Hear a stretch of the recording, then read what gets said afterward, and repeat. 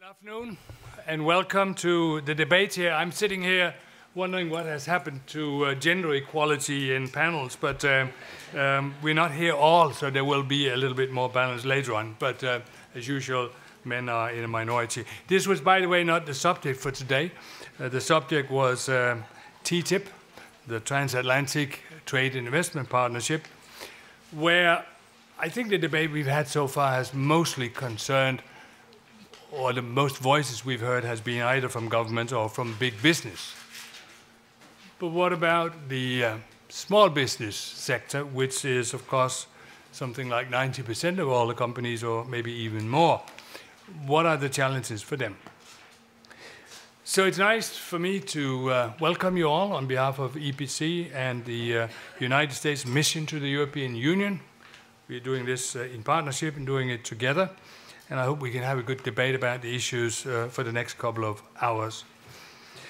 As you know, uh, TTIP, it says trade and investment, but it's not so much about liberalizing trade and investment because we have quite a liberal regime there already. It's much more actually about regulatory affairs. And I always hear from SMEs that standards and different uh, uh, regulations are more difficult for small businesses, so maybe this will be a good solution for them. But it can also be demanding. And obviously, when the whole sort of business environment changes, there will be winners and losers uh, in the new context. So, what should the strategies be here? Should it, for example, be a question of uh, finding partners across the Atlantic? Is that something we should work on? Um, should we try to go it alone? And what is the situation then for the, for the SMEs? We should also, of course, remember that there will be obstacles on the way to the final result because the regulatory approaches are quite different in the EU and in the, in the US. I don't think I insult anybody by saying that Americans uh, normally have a rather commercial approach to things where Europeans tend to rely a bit more on precautionary principles. We will see how that all plays out. We will actually uh, be discussing both of, the things because we have a we have a, a two sessions uh, within the two hours we have here today.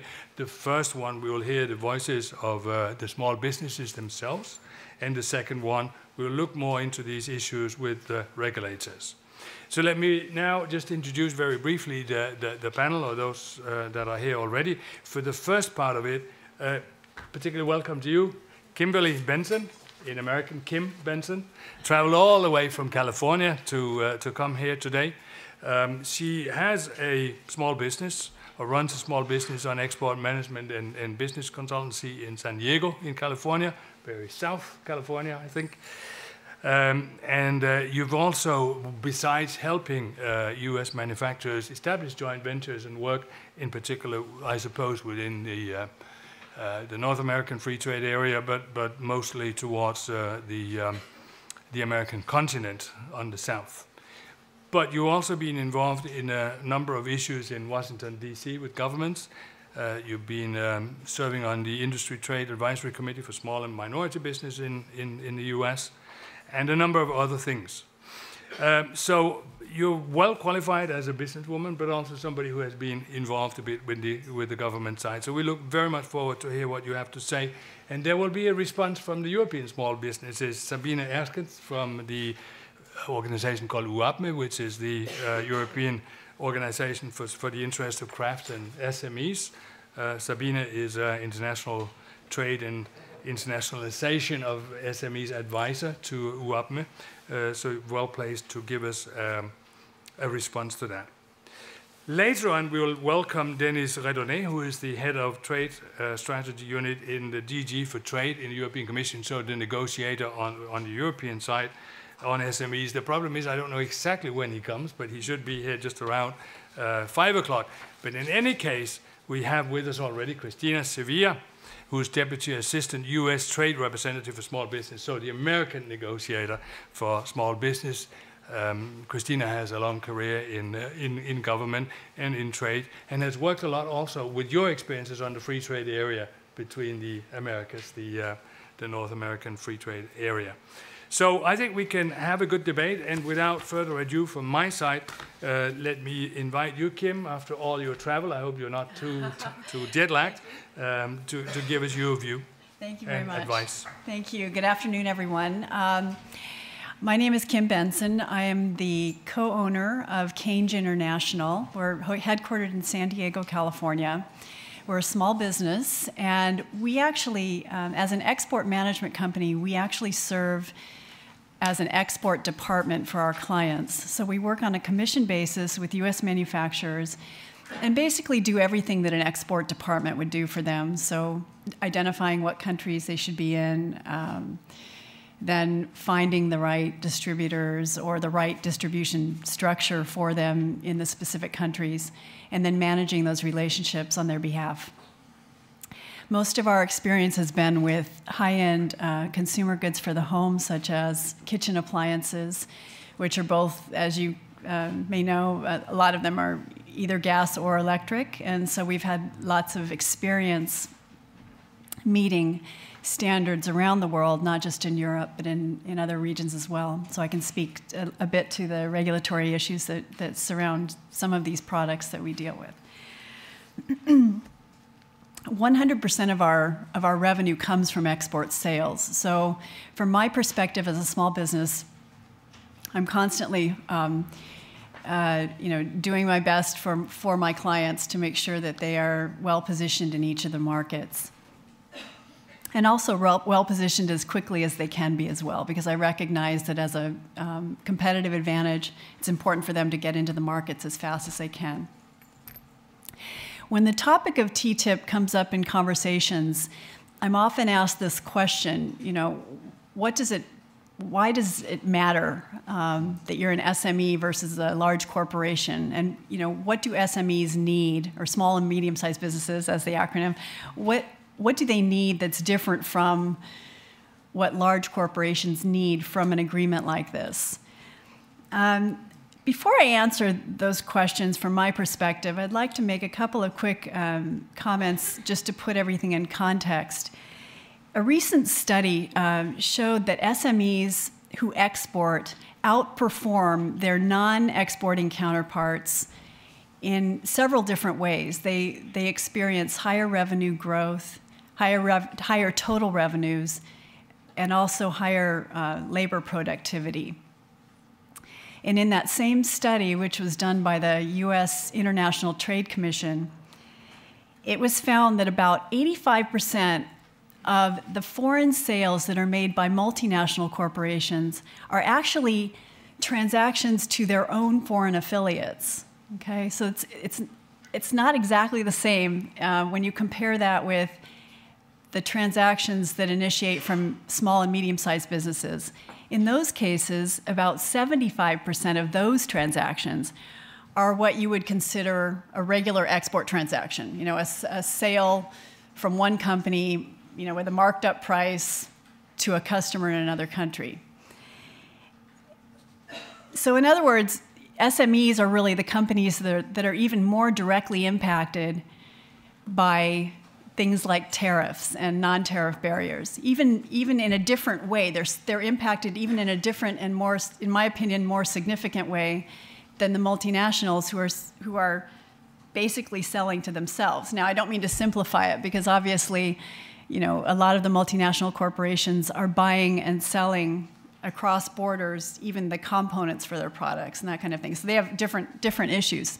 But the point is, when you look at even just the, the impact of a tariff, if I'm, if I'm having to calculate a tariff on a marked up price versus a multinational that's just basically shipping to, to themselves, there's, there's a different kind of an impact there, and I would submit to you it's a more significant one.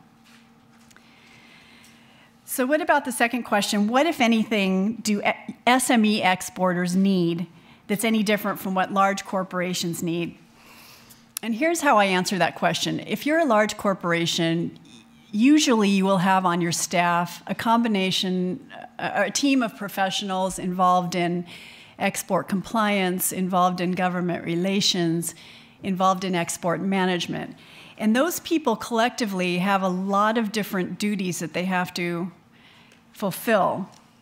Those can include developing strategies for either sourcing components or finding vendors or finding the right distributors in the country, overseeing export compliance programs, ensuring that the company is informed of changes when it comes to documentation, regulatory requirements, duty rates. And the list just keeps going on and on and on. There are, are, a multitude of tasks that, that you need to do if you're a company that's trying to export your product. A multiple a multitude of things that you have to consider on a daily basis. And these are things that can change without you even having the ability to know with any reasonable amount of time that something's about to change. So, keeping that in mind, in contrast, a small and medium sized business is almost always working without a staff like that. So, in order for them to export at all, let alone export in a competitive way or in a profitable way, you know, they require the same information. They require exactly the same information, the same quality of, of, of, information, the same type of information as the large corporations do. And then they have to meet those same standards and, and whatever regulatory requirements are, are needed for a specific country. So basically, they're working without these staffs. So, so again, these regulations that um, may or may not be duplicative or may or may not be necessary are, are impediments to the SME's ability to take their product international. So, to the extent that those things can be minimized or eliminated or streamlined, which is the key here with TTIP, streamlining of, of regulations, not necessarily eliminating them because that's not the goal here, but rather streamlining them so that they're more congruous between the two regions. That's the key. Now, some primary goals of the TTIP include enhancing competitiveness, right, and also facilitating collaboration. And SMEs play a key role in each of these arenas. Competitiveness relates to innovation, getting your product to market as fast as you can, faster than your competition, with the best technological advances at the right price, with the right distribution structure. But if we don't create an environment in which speed to market is optimized, what happens to those innovators and those inventors in the EU and the US? Consumers are demanding the most technologically advanced products.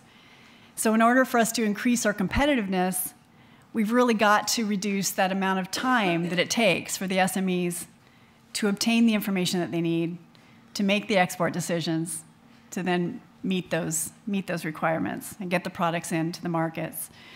So, again, to the extent that these standards can be streamlined, this is going to make a big difference for small and medium sized businesses. Now, I see a lot of opportunities for small businesses in both regions. Um, speaking from a US perspective now, here for a minute, um, I see a lot of challenges for US small companies because what I'm seeing is they are, um, they're putting some self imposed challenges on themselves. They are drawing the wrong conclusions about Europe. A lot of them, because they feel pressure to export more and more and more, with the economic downturn, they're also um, in a situation where they're trying to simplify things as much as possible, right? So they're trying to reduce their costs and they're trying to minimize their financial risks.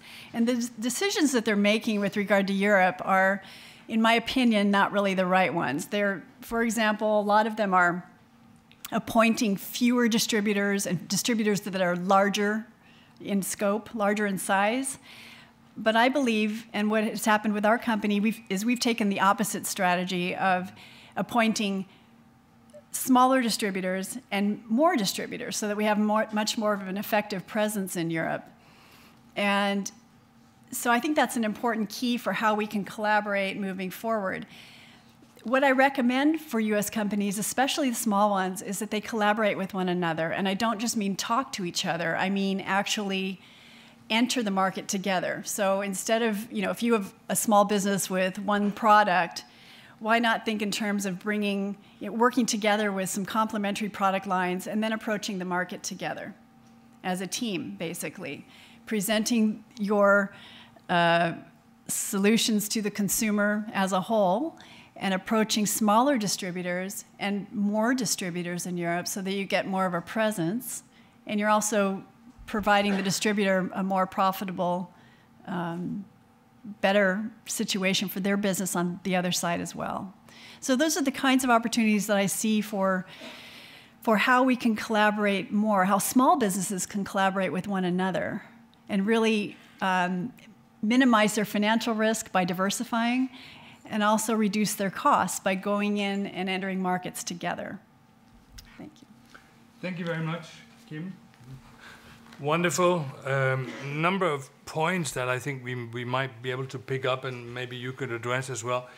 You said from the beginning that SMEs that export are more productive. They, they, they are they doing better.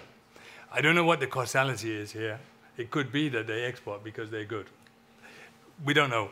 But right. the question I have is that I, I often hear European SMEs be more protective, if you like, uh, like to hide behind barriers rather than going into the open. But uh, do you share the view if I may ask you, Sabine, that um, that is good to export. It makes you more competitive because you, you have to, to fight your way through, as you were saying, the, the maze.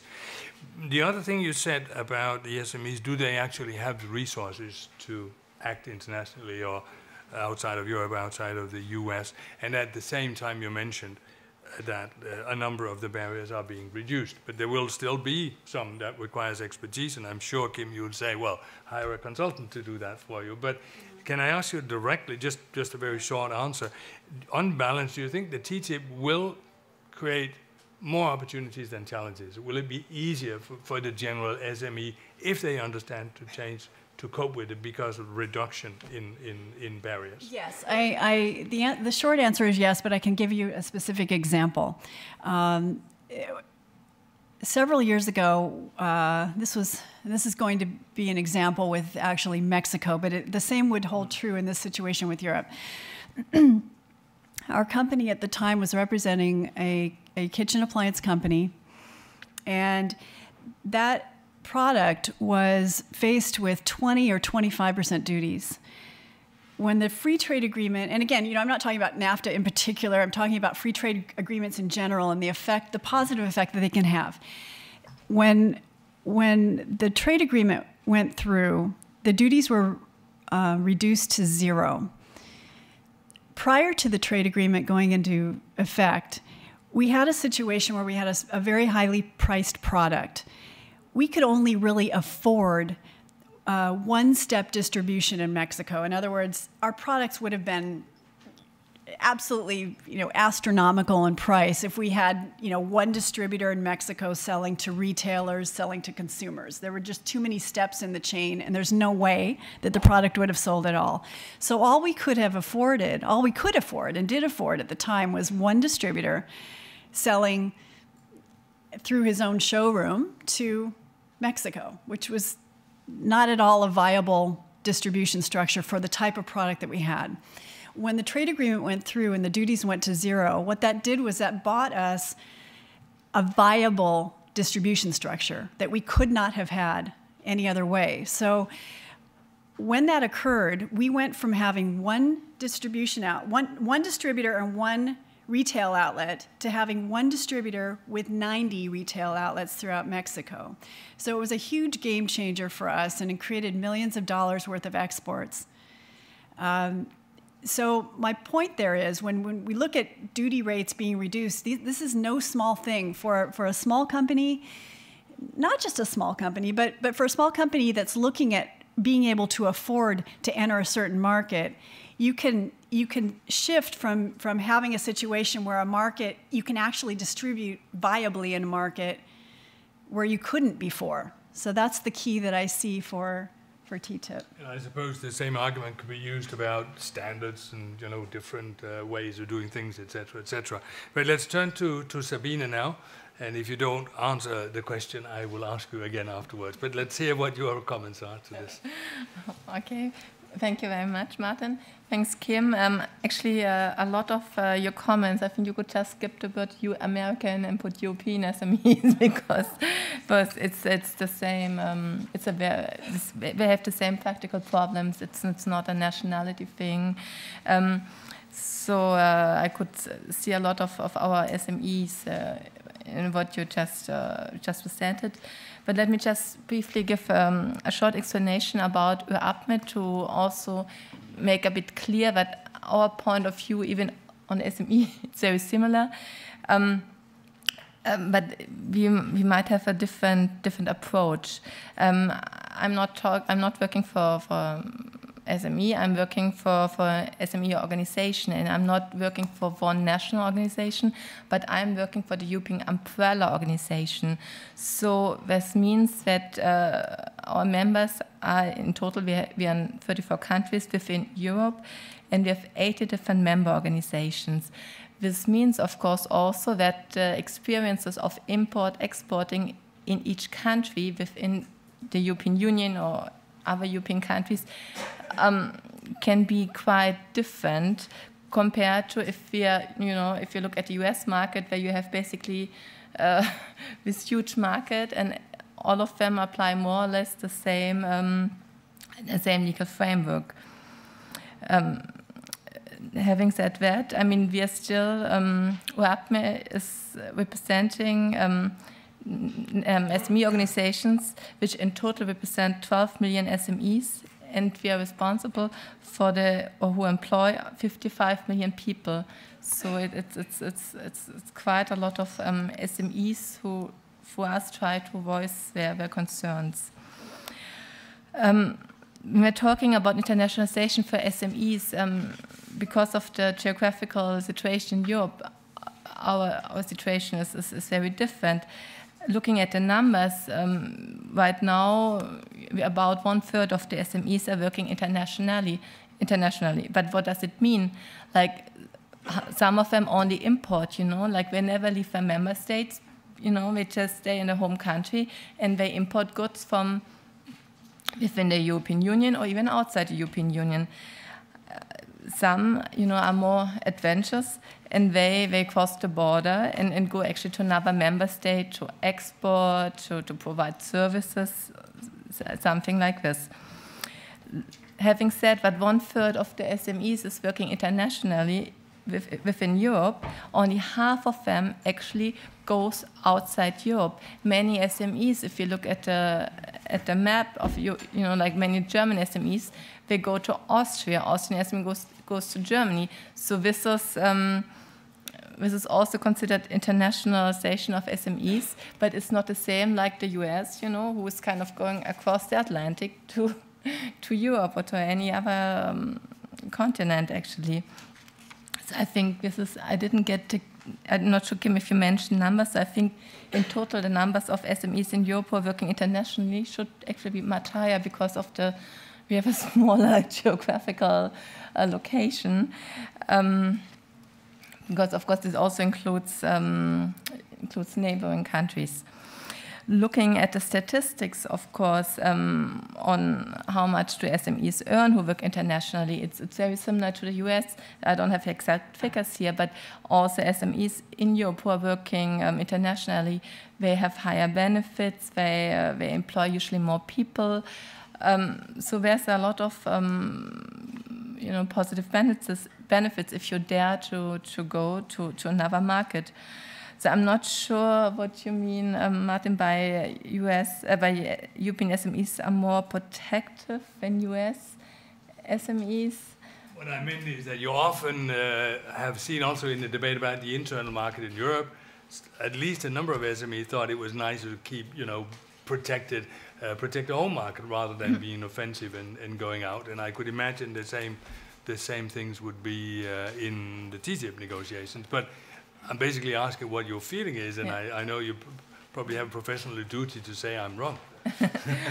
I mean, it's for, for European SMEs, it's already quite a challenge to, you know, to work in the other European countries where you have so many languages to satisfy and, and so on. Um, but um, not sure if it's more protective than ours. Um, and I would actually, um, I, I think I answered your question, so I would actually like to go a bit more into discussion of what what SMEs or SME organizations are expecting from, from TTIP and how it could be beneficial for them.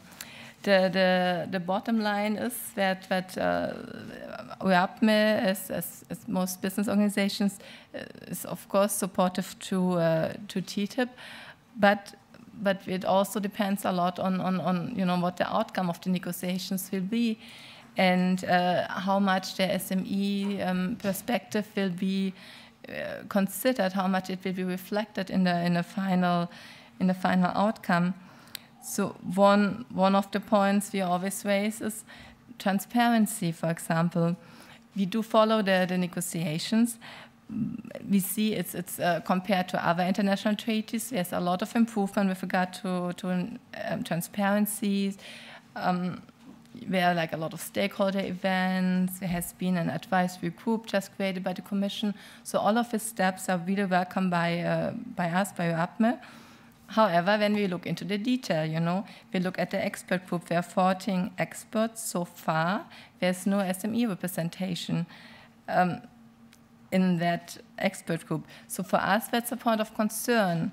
Um, when we also look, um, we look at the negotiations. Um, I mean, uh, there's no agenda. The draft text is not publicly available. I know this is usually not the case for any other international agreement like this, but this makes it much more difficult for us to comment, to say to say, yes, sure, the, the SME perspective is included or not. This is, is this, is, um, this is a problem for us. This is also when I look at, uh, when I talk to our national member organizations, it depends very much to which organization I'm talking to. I mean, I especially mentioned Germany, uh, where I'm from. When I look in the German newspaper, there's a lot, a lot of concern about TTIP, a very strong opposition. And a lot of this opposition, I think, could be avoided if, if it if it would have more transparency, because a lot of his arguments, are, which are picked up, you know, like they are kind of picked up in a wrong way, when they are kind of, um, I don't know, abused, and then, you know, it's very easy to create uh, a fact, uh, create, create a, a, case which is easy for people to, to say, oh, we are opposing TTIP. I, luckily, I don't see it in so many other uh, member states yet I see it a little bit in Austria, other countries, I think Italy is a bit more relaxed, you know. France is also following, but more relaxed. But but where I also um, I, also have um, not yet, but I might have problems to speak with one voice as a European organization, depending on on the development, uh, the political development development in the different countries. to um, another demand from UEAPME is, of course, also to include an SME chapter in, in, in the TTIP uh, negotiations, just to really make sure that the concerns of, of the SMEs are taken into account. And Kim, I mean, she did a really great job in, in, in, in mentioning explaining how the situation is for an SME. They, are, um, they don't have the strong manpower, they don't have a legal department usually. Uh, the, the average SME, you know, many of them are between, uh, in Europe, between 10 and, 10 and 50 people, uh, employees. So it's, it's, and 50 is already quite a lot. So, so it's really, really um, important for them to, to be able to comply with, with, with, you know with the standards, with, with the different rules of the tariffs. So it's, it's, it's, it's quite it's, quite challenging for them, and where of course where we see a lot of um, a lot of um, benefit potential benefits in the TTIP. You know if tariffs are reduced or you know at least where it can be. Uh, uh, you know, if the, the non-tariff barriers, you know, if, if they are if they are tackled, sometimes we have, we have to see if, if there's possibility by mutual recognition, but also to see um, if we might have, um, you know, if we have similar um, level of protection, but in different ways, if there could be some, some streamlining, as, as, as Kim said. So this is certainly um, is also very much uh, supported uh, from us. And I think on this points, it will be decided if TTIP will be beneficial for SMEs or not, because um, I mean, as also Kim mentioned, the, the big companies they will manage. They will certainly manage with difficult with um, complicated, difficult rules, if it makes sense or not, but they, they will manage. They have the, the manpower.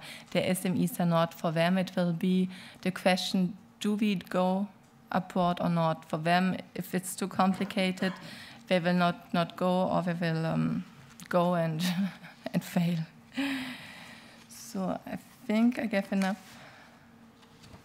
Okay, but let's take on the debate from there. I mean, uh, I'm not forcing you on the particular question. I, I, think what is behind what I said is basically uh, there is a situation where you could say, I mean, as you were underlining all the time, the regulatory barriers disappear, the tariff barriers disappear. Oh, it's easy to conquer the world, but it's also easy for your competitors to enter into your into your markets. I mean, that is the kind of, of, of thing uh, the SMEs will have to look at. Do they uh, consider an advantage to be more productive, as you're saying, more aggressive on the export markets, or would you rather try to keep your competitors out? I think it's about the inner strength and your attitude and so on and so forth. Just on the debate you mentioned, I mean, you mentioned some countries, I've heard from other countries. I don't think there is a, a, really fundamental debate now. I think it will really start when we begin to put all these regulatory affairs on the table. Not so much for the SMEs, but more in general. When it comes to hormones, when it comes to GMOs, when it comes to data, when it comes to chemicals legislation, all these kind of things, then I think we'll have a, you will see a quite lively debate also continuing in the German press. But Kim, did you have any response to this? Because otherwise, I'd like to see if there's um, anybody who would like to chip in. I already see a finger over there, and I didn't wait for an answer, but you didn't look like you. You will get the chance now. There's a microphone between your chairs, so please introduce yourself. Yes. Yes. Hello. My name is Felix Neugart of the Association of German Chambers of Industry and Commerce, and I have one comment and one question to the panelists. The comment uh, is regarding the position of German SME companies towards the TTIP, which you raised, Mr. Martens. We have a survey among 2,200 exporting companies in Germany, very large number of companies, all international, and we asked them, what, how important is TTIP for you? And over 60% of these companies told us that TTIP is important or very important for them. So I think this is a rather um, convincing number among at least the international uh, active uh, SMEs in Germany regarding the value and the benefit of uh, TTIP. Um, Did you ask the non-exporters as well? No, this is exporting companies oh, okay. because I mean non-exporters they will be you know they will judge this uh, as consumers. So this is a different perspective. But among those companies who are directly affected by trading with internationally, I think we have an overwhelming majority supporting uh, this issue. Second question we asked is what is important for you within these negotiations? And there, uh, over 80% told us it's the non-tariff barriers. It's the regulatory issues. It's the mutual recognition or the harmonization of standards and norms mm. and certification processes, which are important. And second, then comes the customs, which uh, you mentioned, the custom duties, which are, of course, generally low with some peaks, uh, but because the trade volume is so large across the Atlantic, so there's some, also some cost uh, to save there. Now comes my question. Um, you mentioned, Mrs. Erkens, the uh, debate that we have in Germany currently, which is indeed, Mr. Martens, is very intensive. It has a very negative dynamic. And uh, we have actually to be very careful with this because there's also very, there are arguments made very much against TTIP. So I think what we need and what is important for us in Germany of those who support this uh, free trade negotiations and support TTIP, this means international oriented business, that we make very clear to the public where the benefits are. And this is not only, you know, um, some general numbers 0.5% of uh, GDP growth in 20 years, or whatever, 180%, 180,000 jobs in 20 years, but we need very concrete examples of SME companies who will benefit from these negotiations. Very um, plastic, very uh, day-to-day -day examples of SME companies who will benefit from this regulatory cooperation. This is something which is not, not very easy to, to, to, to, uh, to collect. Huh? But nonetheless, I think, especially in Germany, if we want to um, if we want to have a voice in this debate and we want to change this dynamics, we need this example because this will show people that it's not only the big corporations, it's not only the large multinationals that will benefit from this free trade agreement, but it's uh, companies next door, SME companies, which are close to everybody. So my question is to the panelists, do you have concrete examples of SME companies um, benefiting from this and how they will benefit, especially from this regulatory cooperation? Thank you.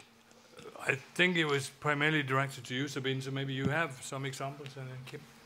Oh, well, I don't have um, concrete numbers or anything, and it's also um, it's also a bit difficult because it's very often it's not just the SME who is you know exporting directly to the US, but it's also the SME who is uh, you know delivering goods to the exporting SME who's also benefiting if, if the companies. Uh, but but it's true. It's a it's very difficult to get to get concrete examples. I agree, and it's it's very important. I agree as well.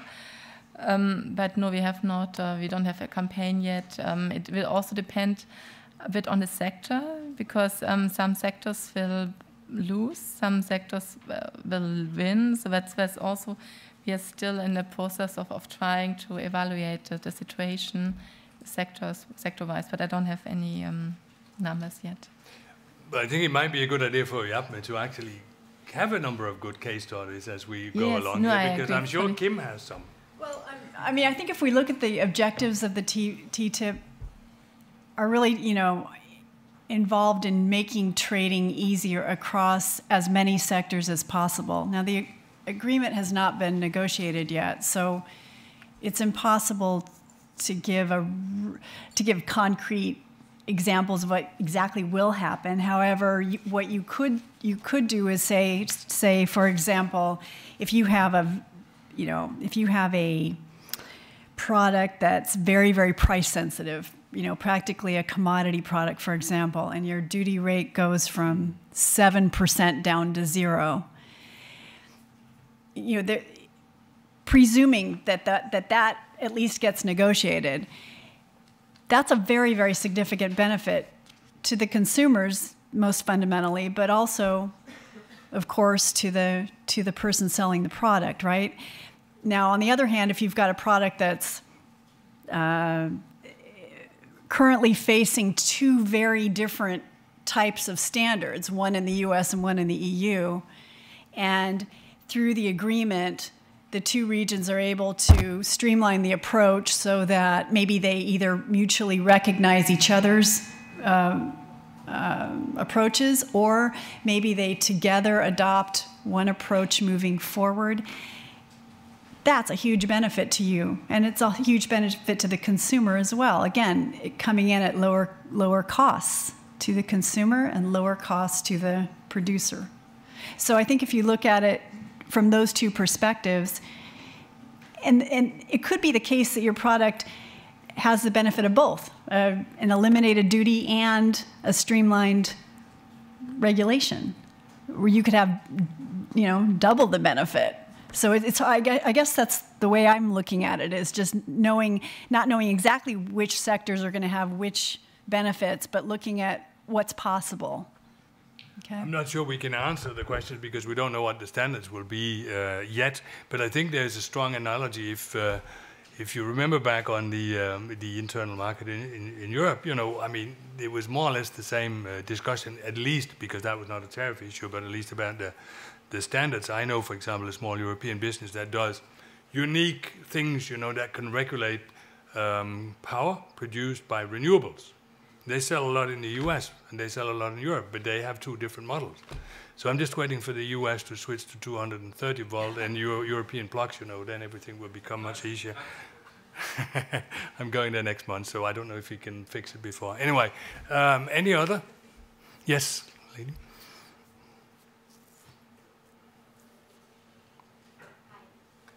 Need to push a little button there on the mic, I think.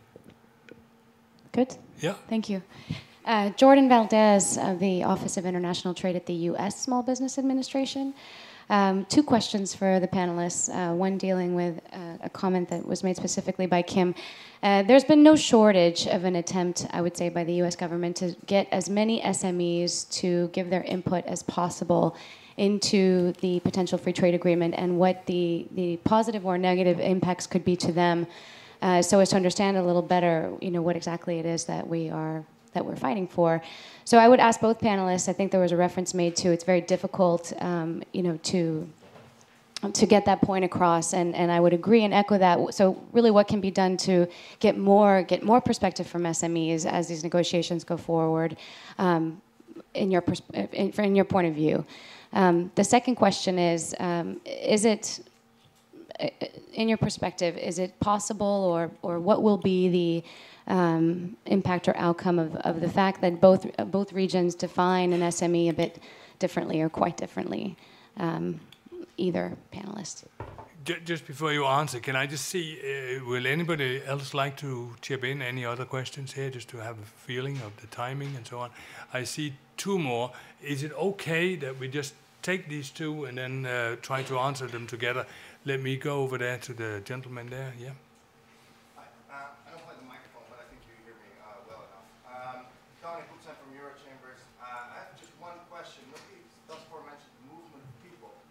Mm. SMEs. For us, that is a key point. Also, uh, we haven't yet heard rules of origin, um, how the sourcing can comply, how we can make it easier. Um, isn't that something we should consider in this context as well? Thanks. And the final question was uh, yes, please. Uh, journalist from Holland. Um, I, I, hear a lot of uh, talk about strategy but I have trouble in understanding what is really meant by strategy, especially from the point of view from small companies. Because I would think, yes, I can imagine that big companies have strategies in trying to conquer markets and trying to protect them.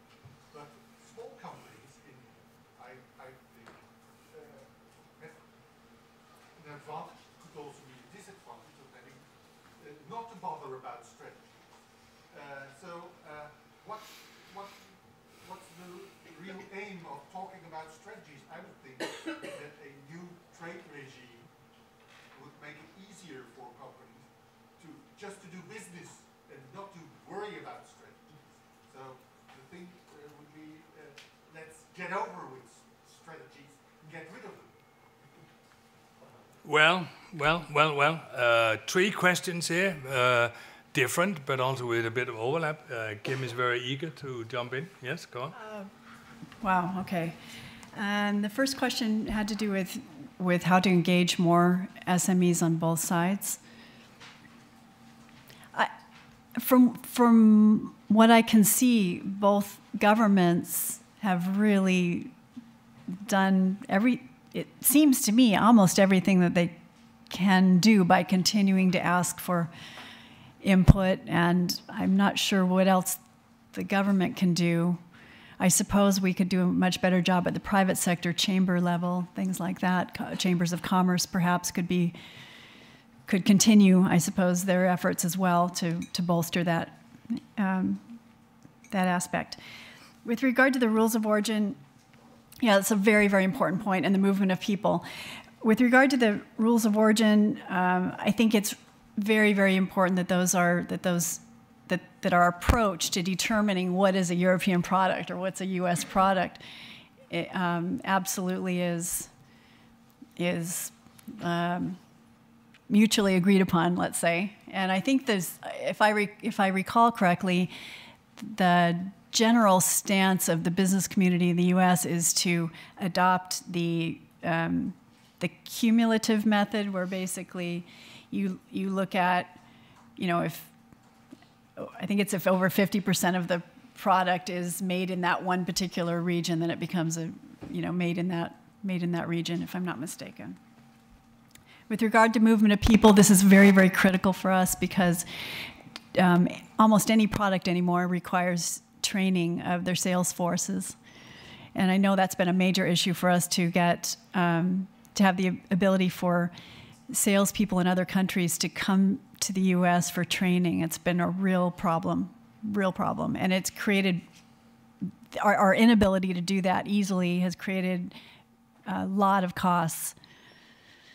So yeah, it's a big, big deal. And strategy. I think I think if you're a company that's small, it doesn't necessarily mean that you're a company that's um, unsophisticated. There are a lot of companies that are small on purpose and stay small because they can stay profitable that way and like to be under the radar, you know? Uh, don't necessarily want to be big. And and the companies that I've seen that have had the staying power um, do indeed take their strategies very, very seriously in terms of how do they approach a market, how do they enter it. and the world is becoming more complex, so I think anymore you, it, it's incumbent upon any business owner to really think through their market entry strategies. I don't think it can be avoided, I guess, is the way I would answer that. Sabine?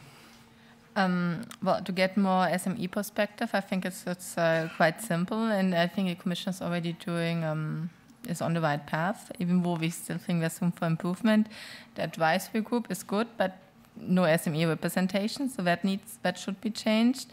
Uh, there, um, in, on investment, there's a consultation which is going to be launched uh, next couple of days, I assume.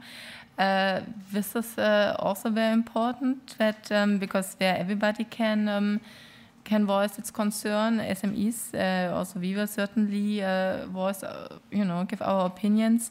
So of course here in Europe we have a lot with public consultation. Even though that's so far, I think only one is foreseen for TTIP.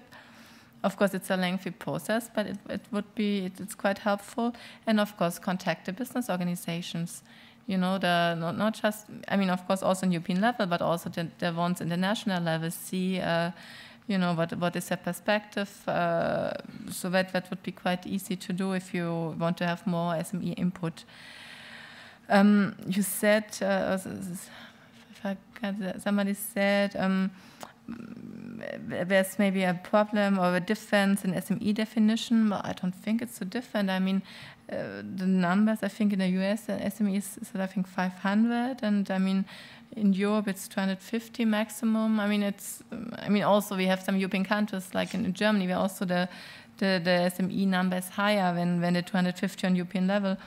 Um, but it's still it's the same problem because the majority of the SMEs are usually not in the not in, in, the in the higher end, but they are more in, in the average end of around uh, at least in Europe, about 50. I don't 50 employees. I don't know in the, probably similar numbers. So um, same problems, I would say, more or less.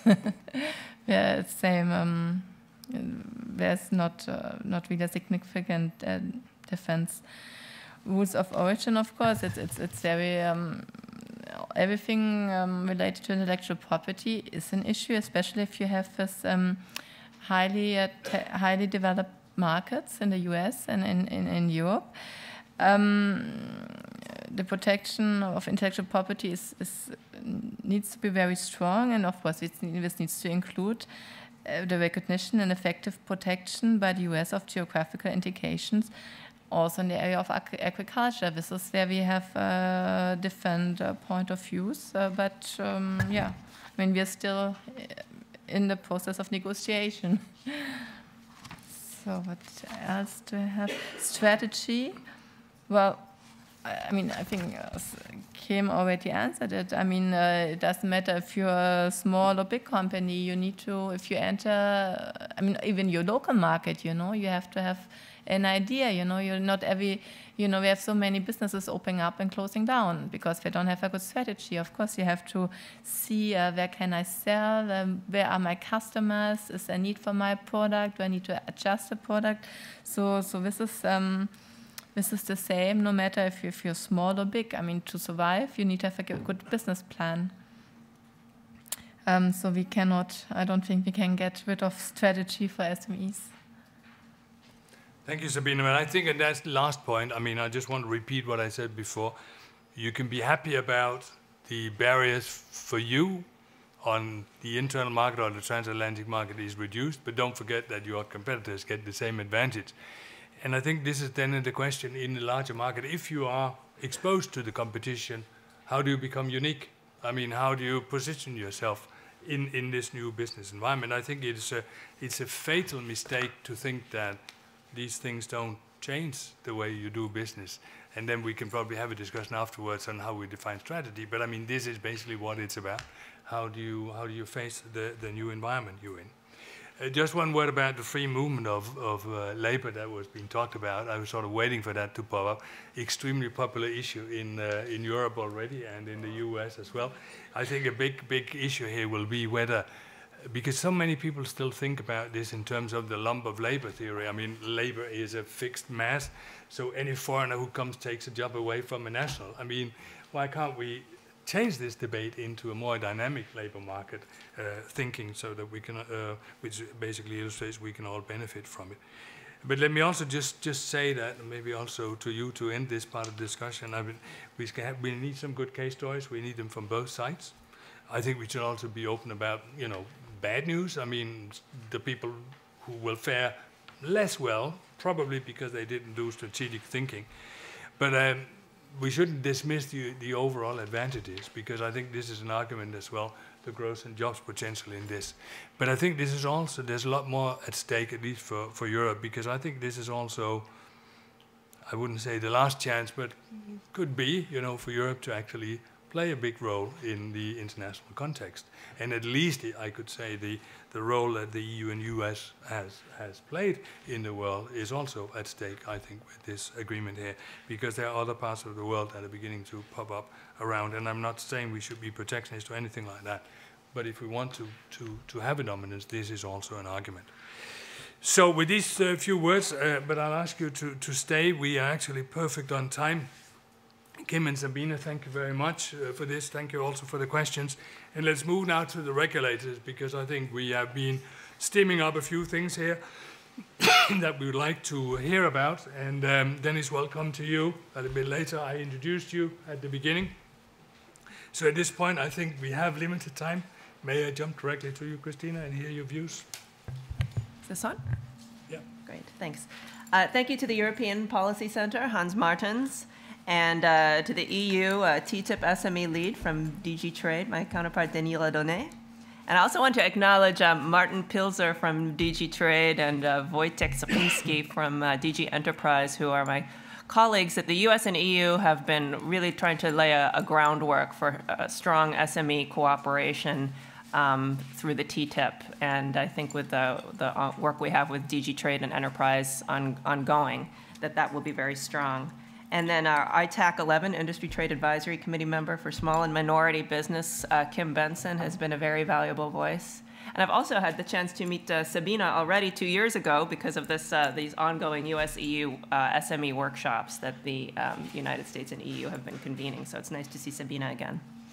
Uh, in 2013, President Obama and his EU counterparts announced that the United States and European Union would begin negotiating a comprehensive transatlantic trade and investment partnership, TTIP.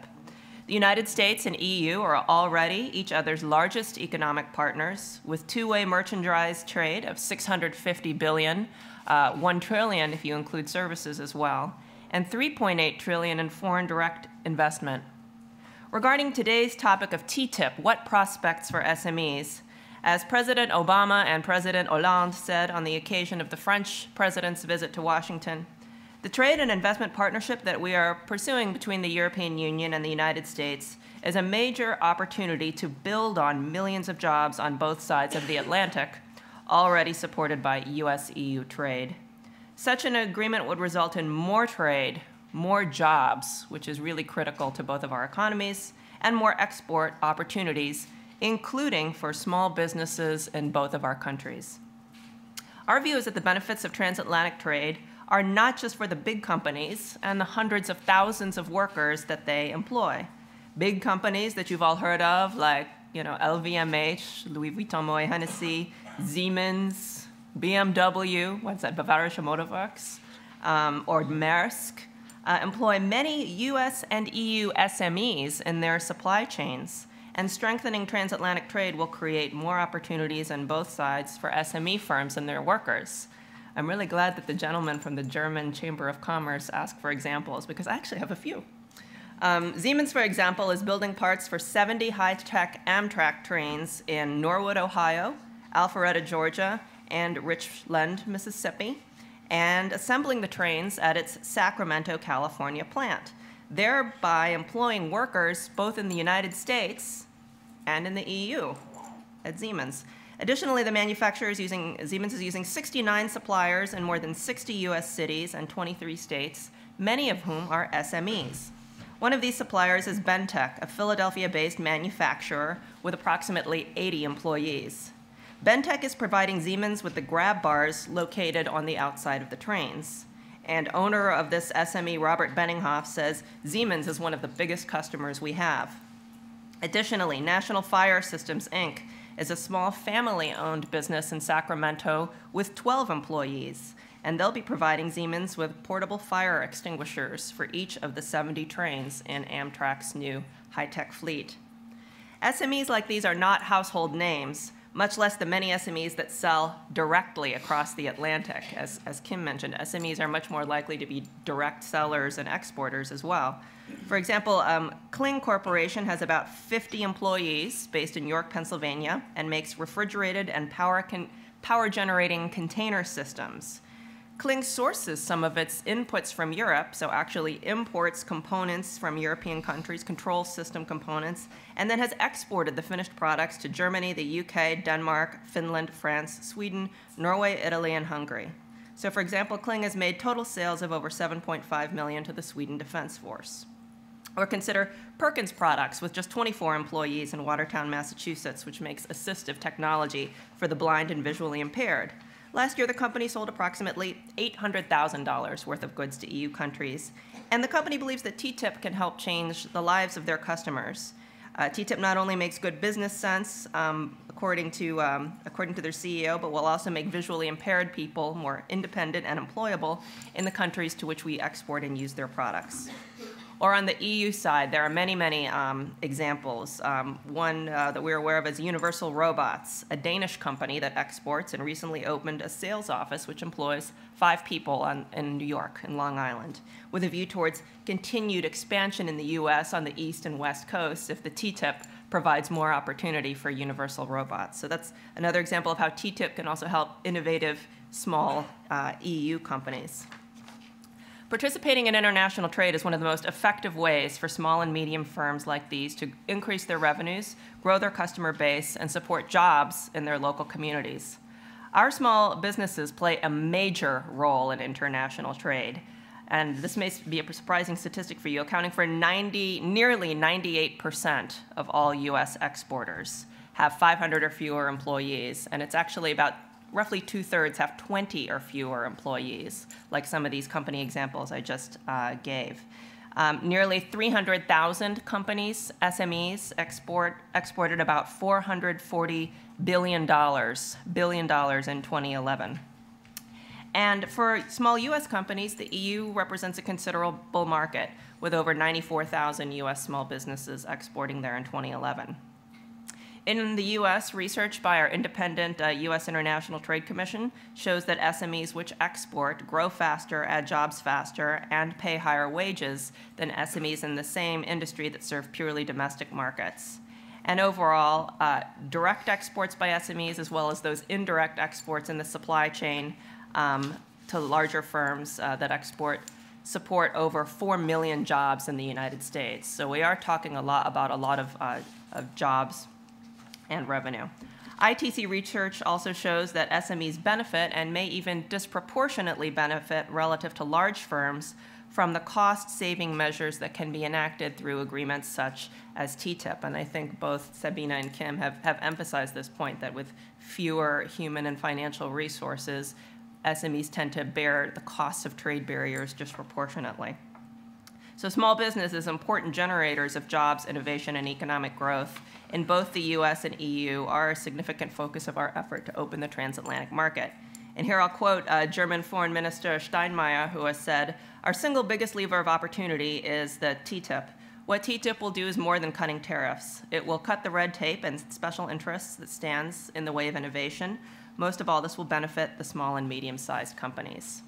So TTIP can benefit small businesses in the ways, many of the ways that we've heard already today, reducing costs by eliminating tariffs at the border. In some cases, the removal of tariffs could allow SMEs to sell their products across the Atlantic for the first time, reducing time to deliver products to market through speedier customs procedures, reaffirming strong protection of IPR, which uh, Sabina mentioned, which is critical for innovative SMEs and helping to combat IPR infringement to which SMEs are particularly vulnerable, particularly if you are in an innovative industry and you have are a small company, you cannot afford for a, a counterfeit or knockoff of your product in another market. Uh, increasing transparency and information for SME exporters and importers and laws and regulations affecting trade. Again, SMEs don't have huge teams of, of personnel and export compliance and government resources people to be researching all of this information, so we need to make it uh, more transparent and easier for them to find. And then reducing unnecessary costs and administrative delays and promoting enhanced regulatory compatibility, of course, while continuing to achieve the high levels of health, safety, and environmental protection that the US and EU have. So together, we're also seeking to strengthen our ongoing cooperation on SMEs through the, T through the TTIP, uh, as I mentioned, since 2011, the EU and US have convened ongoing US EU SME workshops to bring together SME stakeholders, like the panelists here and, and many, hopefully, in the audience will also be attending, um, on both sides of the Atlantic to exchange best practices, discuss trade issues of specific interest to small business, and identify ways to strengthen transatlantic cooperation on SMEs. Uh, as a result, we have a, uh, an MOU on uh, SME cooperation, trade promotion cooperation between DG Enterprise and the Department of Commerce, International Trade Administration, um, for you know seeking to cooperate on trade shows, for example, and B2B matchmaking in specific sectors of interest uh, to small businesses. Um, so far, such cooperation has occurred like in medical devices and biotech at specific trade shows. Actually, one was in Germany and one was in Chicago. The most recent workshop was held in, in Brussels, actually, in October. And uh, the next one will be in the United States in 2014. And it's an ongoing forum for direct SME engagement with US and EU officials.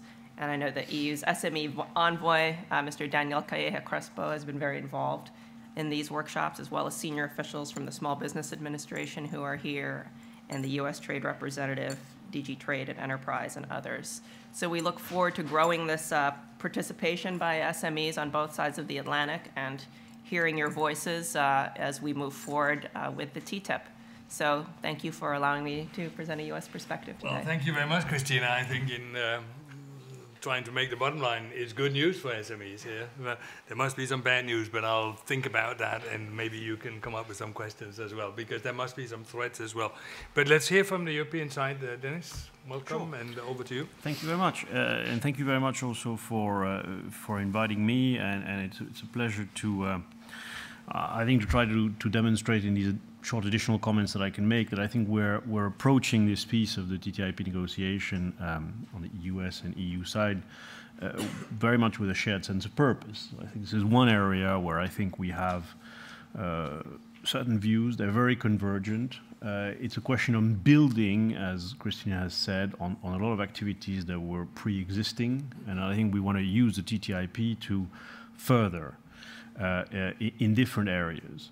Uh, we, I think we, we benefit uh, as a starting point uh, in our work, Christine and I, and the work of the colleagues that are involved from, uh, from a pretty clear mandate, first of all, for uh, uh, making sure that this is front and center of this negotiation, not just out of the formal mandate that the high-level working group has given us, but also the informal mandate that our respective bosses are giving us, Mike Froman or Karel de Gucht, are basically telling us to get on with it in this area.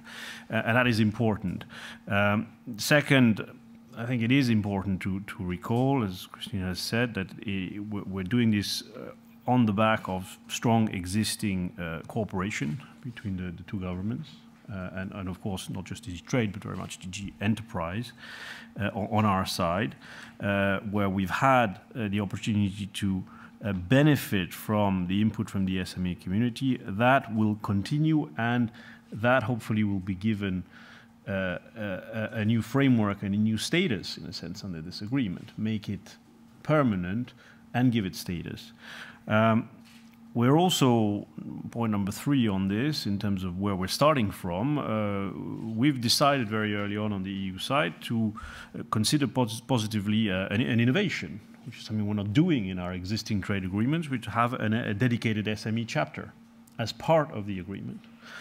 And that is because of the importance of the issue as we see it in the transatlantic context, but it's also, in a sense, part of a of, of, of, a consideration that goes beyond TTIP as far as we are concerned. It's about making sure that we focus increasingly on the, on the implementation side of our trade policy, what we do with the common commercial policy.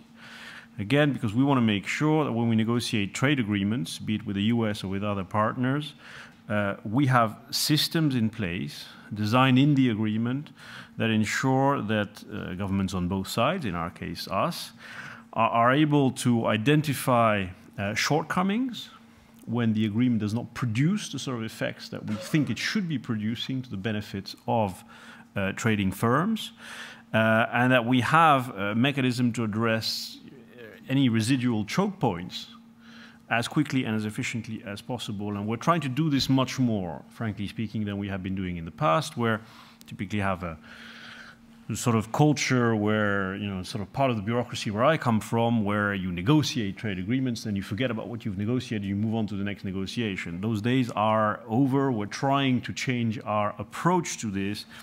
And what we want to do in this area on the SME side is part of that broader uh, commitment. Now, obviously, we see, and I think we jointly see, the, the TTIP as something that can be beneficial to SMEs across the different silos of what is being negotiated at the moment. Uh, deep into round four this week across a range of negotiating groups.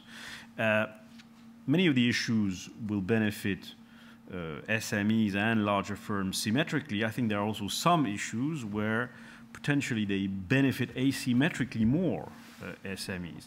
And that can be in a range of areas, both on the, on the, on the, the, the market access, the classical FTA side, and the non-classical regulatory side uh, alike. Uh, it is quite clear, I think you, you alluded to this, on the tariff side, where you have relatively low remaining tariffs, uh, even a relatively low tariff, residual tariff, tariff can make a difference when you're talking about certain sectors or certain types of transactions uh, where margins are low, and therefore the tariff side is not to be underestimated. I would add that it's also, we, we see this in a, sort of non-mercantilist way. It's both on the export side and on the import side. And you were, I think, giving some very interesting examples of, of SME case studies here. Uh, you know, we've been also engaging with our stakeholder community in the SME community uh, uh, uh, recently. I've learned of the existence of a very interesting firm, which is actually located here in Belgium, which is producing some, some, some very interesting high value equipment, pumps that actually go into uh, and, and, pumps and cameras that go into the oil sector and that do a lot of business. The Belgian company does a lot of business in Texas. But they face all kinds of different issues in the transatlantic economy and want to fluidify, in a sense, their positioning in transatlantic economy in different ways. Uh, uh, because they have not an issue on the tariff side, on the, on the export side, they have uh, an issue on the tariff side, on the import side, for importing components actually from the US uh, here and uh, vis-à-vis -vis the export side, they have different types of considerations. As I understand it, one of the issues that they have told us they face, and it's an interesting example, it's the whole issue of customs formalities when you ship demonstration equipment towards the United States, which is a radically different type of, of, of issue, of problem, addressed differently and elsewhere in the agreement. But we have to start looking at this in an integrated way. Now, that's for the tariff side. I think the regulatory side is also very important in many ways, not least because of the compliance cost. Uh, and the compliance cost, a priori, is asymmetrically detrimental to the SME community uh, uh, simply because of, of, of resources uh, and means. I think also, final point on how, how we see the, the importance of the, the different substantive silos in the agreement. Um, we, we obviously have a, a, transatlantic relationship which is a, a, big investment relationship, but it is still a very big trade relationship. And on the trade side, and I'm thinking about areas on which I also work on the negotiations on customs related issues, trade facilitation related issues. There's a lot there that hopefully we can do if we're ambitious enough in this agreement, which will probably benefit SMEs asymmetrically more than, than larger firms. So we're going to be looking at identifying those issues and as much as possible, of course, front loading uh, the negotiations and the results in these different areas. Now, all this uh, should be then backed by uh, a, a, a, specific uh, SME chapter in this negotiation, which we're, we're looking into uh, uh, together. I think it can have several components. I mean, apart from, as I said, consolidating already some of the cooperation activities that we have in this area, it can do two other things, and again, I'm, we're it's early days, and we'll be talking about the, the content of that uh, uh, together on Thursday in the negotiating group, and not in front of you necessarily, but I think we can we can already say that, uh, that certain dimensions that we can see emerging in a, in, a, in a chapter of this kind. I mean, the first one is the, the, whole information sharing side, which I think is very important because at the end of the day, the transparency part, I think you mentioned this, Christina, in our view is probably key. Uh, uh we have to make sure we provide uh, tailor-made access to SMEs through website websites where we reduce the information gap and information asymmetry as much as possible. And we're going to have to work out to commit to do that in specifically prescribed ways in the agreement and try to do that again as ambitiously as possible to make sure we have the capacity to reduce the information gap as much as possible through the, this SME chapter. Uh, that can also go hand in hand, probably with a, a, a, sort of exchange mechanism between the EU and US governments that would help to make sure that these efforts that we make in terms of information sharing and information provisions are maintained over time, are kept up to date, and that's the sort of, uh, of, of, tool that we, th we think, and I think it's a shared ambition that we want to try to develop in the, in the agreement. The other element is, is to try to have also an institutional structure out of, out of the TTIP that will allow governments to talk about the actual concrete implementation of the agreements to the benefit of SMEs together, but also find ways to have both governments under the framework of the TTIP interacting with the SME stakeholder community as part of the architecture of the agreement. So I think these are the sorts of things that we see in terms of both the overall agreement and the way we can build um, uh, an element of structure through an SME chapter to support the potential gains that are there in the agreement. Maybe I could say, just to finish a, a word on, on, on the discussion we had earlier, where I understand and we feel that there are, there are doubts about uh, uh, the potential gains from the agreement, uh, uh, um, mounting criticisms about the negotiation, about the TTIP. And it is true that there is out there a certain perception, at least in certain quarters, uh, in Europe, but perhaps also in the US, I don't know, where there is a sense that this agreement, for some, is an exercise of lowering standards, for the benefit of big business done in an opaque way. If I sum it up, basically, that's where we have the different strands of criticisms coming together. Now, because of that, I think we are certainly on the on the EU Commission side, uh, and I think again this is something we've been talking about together with with uh, our American colleagues. We do accept that it it is important for us as well, involved in the negotiations, to explain what it is that we want to do, which is exactly what we're doing now, to exemplify, to be able to illustrate what indeed we are meaning for concrete, real people, so not the 0.5% GDP growth type, but Mr. X, who's having a business, is doing certain things, and engage, engage with the stakeholder community so that as we work, we keep receiving input from the stakeholders uh, in order to make a potential SME chapter better, richer, deeper. So explain, exemplify, engage is what we're going to try to continue to do. Uh, one of the things we're discussing uh, together uh, is to uh, actually issue uh, documents to the public about well, how we see the SME dimension of this agreement. We're working on something like this together. We hope to, that this is the sort of um, illustrative uh, uh, material that can actually start feeding into the debate so that we also project uh, positively what we want to do with the agreement as opposed to uh, having to counter the more neg negative perceptions that are, that are appearing in the, in the debate. So this is what I want to say on, in terms of where we are on, on our side at least. Thank you very much, Denis. And I can assure you that I'm not meeting anybody, even my family, without talking TTIP with them.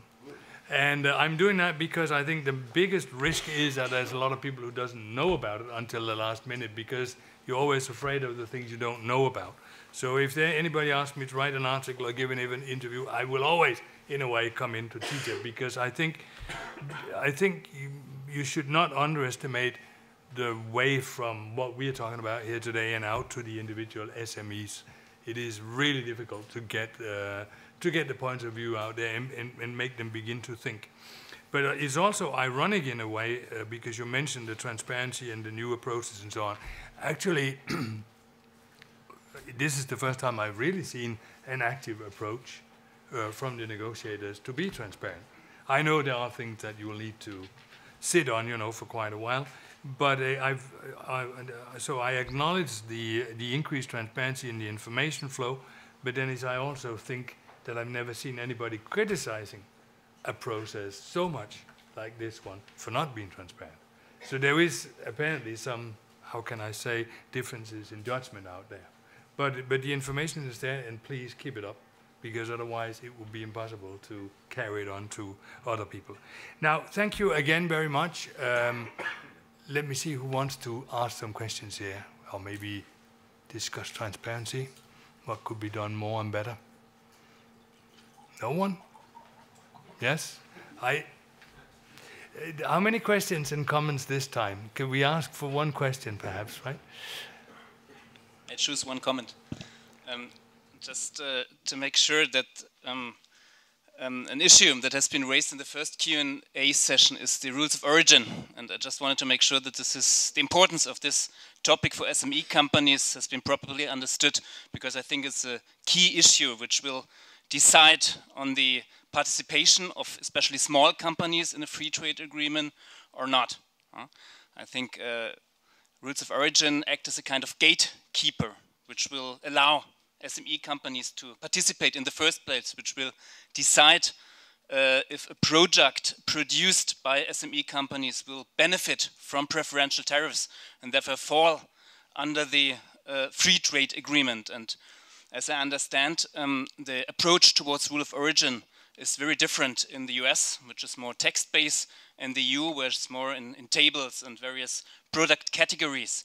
So I think it's very important that we have an approach which defines rules of origin as easily as possible, as um, easily handleable for small companies who have not experts to deal with this. And of course that we avoid to have certification processes. In many free trade agreements we have special certifications for companies that want to um, um, participate in the preferential tariff system. So my um, my, my uh, idea and my uh, um, um, um, wish from you is, as regulators that you make sure that this topic is taken seriously and that we have, in the end, as an outcome of the negotiations, rules of origin which are manageable and handleable by SME companies. Thank you. Are you doing that, Christine? I am not personally, I'm not responsible for that issue. Perhaps uh, Denis has some comment. But just in general, I mean, we've heard from SMEs across a range of sectors, including rules of origin, including tariffs, including technical barriers to trade and standards, IPR, customs issues. You know, we solicit comments from our public across, and including SMEs across the range of these barriers. So we are familiar with some of the issues that you have identified regarding um, rules of origin, you know, in, a, in our other free trade agreements as, as, well as this one. So I know, you know, our negotiators are, are taking into account uh, these comments to try to make the uh, agreement as, as user-friendly as possible. No, yeah, I mean, I, I, agree. I mean, as I said, it's it's it's about looking at all kinds of possible choke points, uh, which are addressed in all kinds of different uh, categories of, of disciplines. But you can create disciplines in an FTA which can be more or less SME friendly, depending on the exact detail of what you do. I, you know, this is not rules of origin, but this is a customs related issue. I take an example. If we're going to use the, the trade agreement, for example, to um, go further in terms of the, the mutual recognition of our respective trusted traders program. And the big question is, can that be done in a way which allows for uh, more small traders to actually be able to uh, raise themselves to the bar and get onto uh, AEO uh, uh, or CTPAT status? So it's all in the detail of what you do under the different silos. I think that we're going to see the degree to which we can we can uh, extend and produce uh, benefits specifically for the SME uh, communities in the design of the disciplines or of the the cooperation that will flow from the from the agreement. Rules of origin is one example, but there are many others. I think across the the trading goods area. I'd just like to make one um, comment. I think you're absolutely right. This is a very, very critical issue. It, it, if it's not addressed properly, SMEs are not going to be engaging in the taking the advantage of the agreement to begin with. So. Um, I just, I would just like to say it's a perfect example of the kind of uh, challenging issues that the negotiators need to face. These are, you know, the U.S. has one approach for calculating uh, whether something is a US or a European product, and the Europeans have a different approach. Uh, they have tables, as you said, versus we have, you know, percentages of, of components, let's say, on a cost of goods sold basis. So we have different approaches, both of which are, they're simply different. There's, there's, it's not that one is better or safer or superior. They're simply different. And these are the kinds of issues that they're coping with. So they're not trying to necessarily, not, they're not, not at all. They're not trying to lower standards in any way, shape, or form. What they're trying to do is come up with different approaches that will take into account all of the concerns on both sides. But it's not a matter of lowering standards, it's a matter of converging them where it's possible to converge them. But this is a perfect example of one of the one of the aspects that's so challenging. Yeah, thank you very much, Kim. Um, anybody else? Yes, the gentleman here. We have two. Let's take the two questions. Anybody else want to chip in? Because otherwise, we. Oh, now they're coming. So we have three questions here. Please go. Okay. Um, back on the same uh, subject. Introduce yourself, can you? Uh, Pericles Giannopoulos from the Perm Rep of Greece to the EU. Uh, the um, small and medium-sized enterprises are concerned as, and there is a fear out there that they won't uh, actually benefit too much from this yeah. agreement because they don't have the, uh, uh, the resources to benefit from the value chain theory. While big multinational corporations, you know, can move around the world and take advantage of that. So at the end, they're afraid that they'll be left out. Mm. Just to comment on that, please, whoever is. Okay. Uh, can I see the hands again? Yeah. You, and then you. Miguel Narvaez from the Mission of Mexico to the EU. Uh, I just want uh, a quick, uh, quick question. Uh, because the SMEs in both sides are protected, as, as Mr. Mertens says, uh, what happened with the farm bill, the PAC, the fishery, the fishery policy, and all these kind of issues also in public procurement, also in services, that both sides trying to protect more the, the SMEs in both sides. Are, are the negotiation in the TTIP making an, a systematic approach in, to the SMEs in all these kind of issues in, in the agricultural, in public procurement, in services, or just one chapter that we want to be collaborate between SMEs and that's it? That's, that's the question. Thank you for the question. And you, yeah. Um, Giray Serbest, Transparency International, EU office. Um, you told us about your concerns over transparency, and I was wondering if uh, you have concrete examples of business inputs for uh, getting transparency in the TTIP? And if not, uh, would you have next steps to engage? Okay, again, three different questions. Uh, may I add to, to your question as well, uh, because I was planning to do that at the end. Uh, basically, asked the, the two uh, negotiators to, to, to tell us what it is you want to achieve, because obviously you can write a chapter that we need to be nice to SMEs and all that kind of stuff, but uh, they are, of course, much more dependent on what happens in the area of food regulation, in the area of data regulation, in the very technical areas. How do you bring all of this together? Am I sort of, yeah, okay, we are more or less on the same line. I think you felt a bit cheated out there. You have a, a 10 second question, okay? Yes. No, Mike. And then we take the final round and then you can get up. We're beginning to run short for time, so I meant the 10 seconds, right? Um, Lars Nordgaard, Norwegian Mission. Uh, just a short question. Uh, we haven't discussed, or you haven't addressed the issue of access to internet. I mean, the whole thing of using the internet as a means of selling and buying and procuring services and goods across the Atlantic. That must be a very important aspect of TTIP for small, medium-sized businesses. Or am I wrong? Thank you.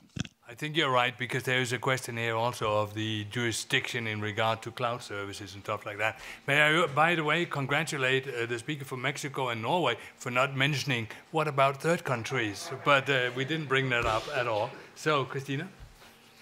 Oh, thank you.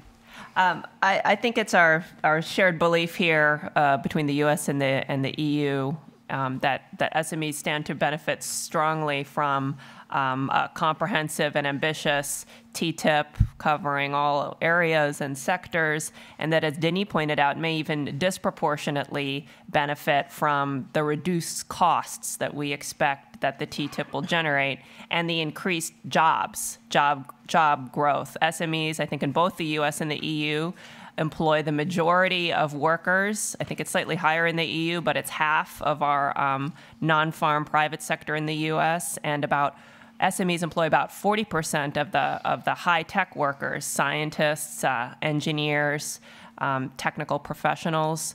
So we certainly hope that, um, that the TTIP is going to strongly benefit the, uh, the SMEs in all of those sectors, as well as in, as, as well as in agriculture. In the U.S., it's actually, you know, most of the producers who actually grow the food are, are small producers that then provide the products for export to larger companies and um, cooperatives. So in, in manufacturing, where um, very high concentrations, for example, of, uh, of our industry concentration in, in electronic products, in um, transportation equipment, in chemicals, for example, medical devices, have, um, you know, 80%, 90% SMEs in, um, in some cases, and then as well as in uh, industries like professional, um, uh, in services industries like uh, engineering, architecture, um, scientific consulting. A, a, lot of these uh, ICT have uh, high concentrations of SMEs, which uh, which gets into the second question about you know we expect that um, you know a comprehensive and ambitious TTIP will provide um, market access and new two-way trade opportunities uh, for firms and uh, producers of all sizes, both small um, and large, but that we think that in um, the areas of the agreement where you know we have other negotiators that are responsible for tariffs, that are responsible for IPR, that are responsible for rules of origin, et cetera, we want to make sure that we, um, those of us responsible for SMEs, uh, include the, the input of small businesses into the substance, the, the, the provisions of these negotiations. So um, this gets into the gentleman's transparency question and how we receive the input in the U.S. Our, our domestic process. We feel we have a very ro robust domestic process for ensuring that SME views are uh, included um, as inputs into the negotiations. So, for example, our Federal Register notice um, seeking U.S. government public comment on what should be the negotiation objectives for the TTIP you know, is, is uh, widely disseminated across the country. And we also try to leverage agencies like the U.S. Small Business Administration, which actually feed deeply into the networks of small businesses around the U.S. for, um, for Federal Register notice and comment. We've also held a series of SME roundtables with uh, SBA and Commerce Assistance around our country and in, uh, in 28 cities and uh, public hearings as well um, that are focused specifically on um, on uh, SME input. We also have our cleared advisory committee system, which includes SMEs throughout, not just in the Industry Trade Advisory Committee for Small and Minority Business, which Kim sits on, but we have uh, SMEs in, in many of our um, in many of our committees as well. And so um, through all of these mechanisms, we, we are expect, you know, we, we have a strong voice um, for SMEs in providing this input uh, directly to uh, negotiators and in, all of the areas of the agreement. And then on the last point on uh, access to internet, clearly um, the internet is, is you know, empowering actually millions of US and EU SMEs um, and opening up the possibilities of online commerce in a way that wasn't there five years ago. I think internet usage in the last five years, or or access to the internet around the world, you know, not just transatlantically because we're mature economies, but globally as well, has gone from like 1.5 billion to 3 billion, and over the last five years, internet usage has quintupled.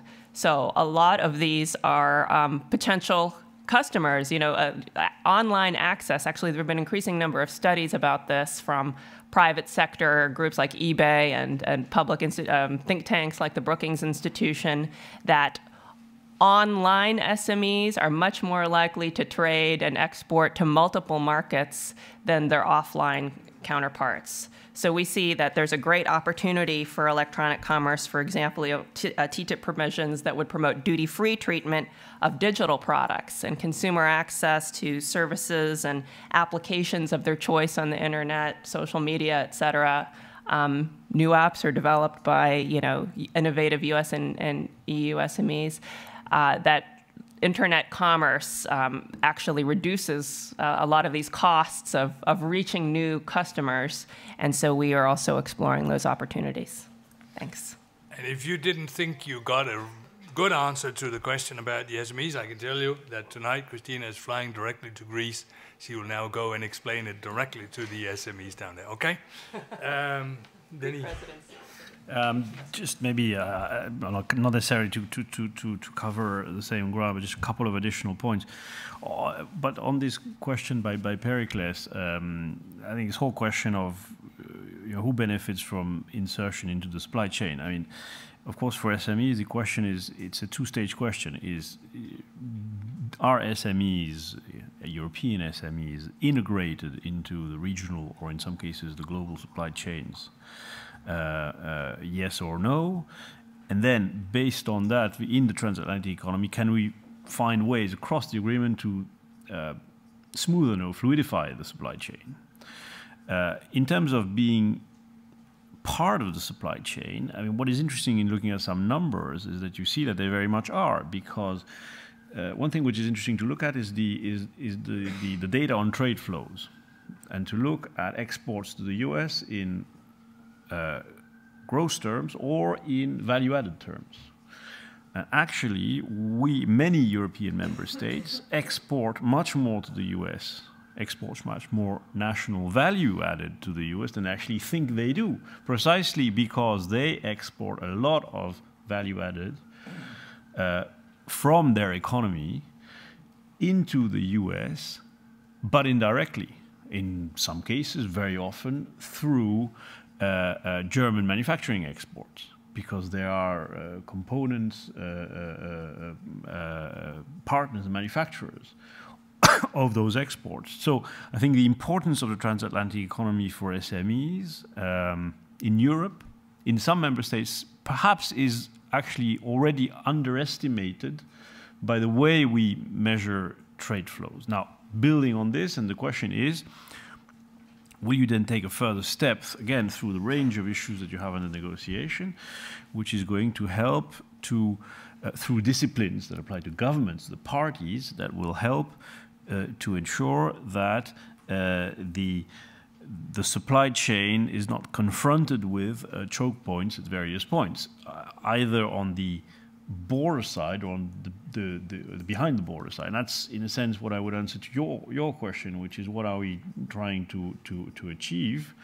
Well, it's, in a sense, it's quite simple. We're trying to achieve, I think, across the agreement, a, a, a significant cost reduction for in this particular case, mostly traders on the SME side. We're trying to achieve that and to make sure this happens both at, at entry into force of the agreement, but also over a longer period of time uh, through either a reduction or elimination of the costs of trade at the border, which remain significant in some sectors and for some operators, or through the reduction or elimination of unnecessary or unintended regulatory divergences that we have, which increase the costs of trade and, in this case, of investment behind the border. I mean, that is effectively what this is about. Now, question will then be, do will we have the means, we will also give ourselves in this agreement the means to measure whether these cost reductions, uh, both uh, when the agreement is starting to be implemented and again over a much longer period of time, because all regulatory sides, of course, something that is, is plays itself out over time, will these cost reductions slash benefits accrue uh, properly and proportionally to the SME uh, community on both sides. And we should try to have mechanisms in place to ensure that that is the case and that we can actually monitor effectively that that is the case. I think this is how I would sum up what, we, what we're actually trying to achieve. Thank you very much for that, Denis. And I think this is not just your responsibility, it's also up to the SME uh, community itself to, to, take the opportunities, I think that you were stressing. Now, I don't think you can discuss TTIP too much because I think uh, it is really groundbreaking and very, very important.